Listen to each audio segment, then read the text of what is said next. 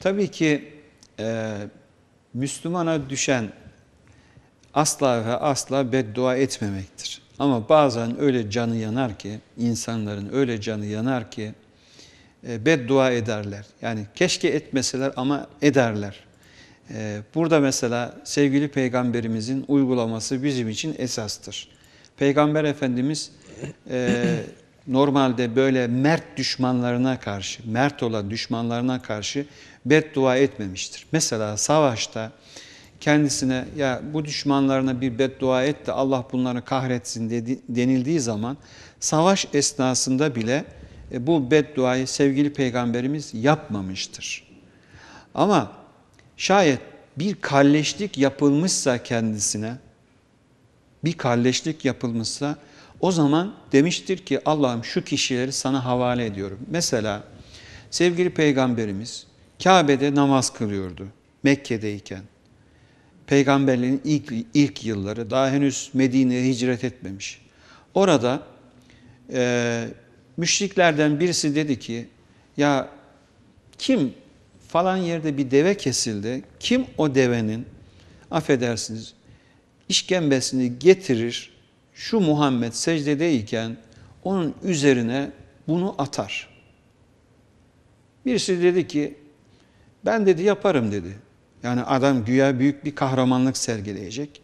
Yani yalaka işte evet. tam bu. E, gitti ve o işkembeyi getirdi. Peygamberimiz secdedeyken onun üzerine bıraktı. Peygamberimiz e, o, o kadar ağır ki demek ki kalkamadı secdeden ve o esnada Hazreti Fatıma gelerek sevgili peygamberimizin üzerindeki o işkembeyi aldı ve peygamber efendimizi kurtardı. Şimdi bu bir kalleşlik. Peygamberimiz onun için orada da bir de gülüştüler Mekke müşrikleri.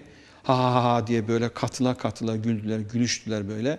Allah'ım işte şu kimseyi sana havale ediyorum, şunu sana havale ediyorum.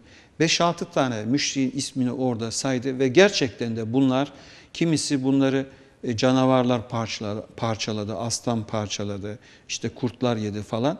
E, bunların başına da bunlar geldi. Yani böyle bir durum söz konusu olduğu zaman e, insanlar Allah'ım şu kimseyi sana havale ediyorum diyebilir. Yani böyle bir kalleşlik olmasa bile falan kimseyi sana havale ediyorum ya Rabbi diyebilir. Veyahut da e, bunun en bariz örneği işte innema eşku bethi ve huzni ilallah. Yani bu bile yeter. Allah'ım ben hüznümü, şikayetimi sana arz ediyorum demek bile yeter.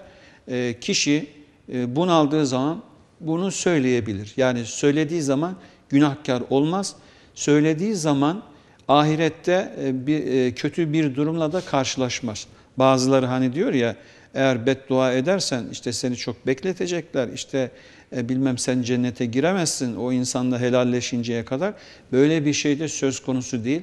Bazen öyle oluyor ki insanın canı yanıyor, çaresiz durumda kalıyor ve o zaman Allah'ın falan kimseyi sana havale ediyorum diyebiliyor. Peki.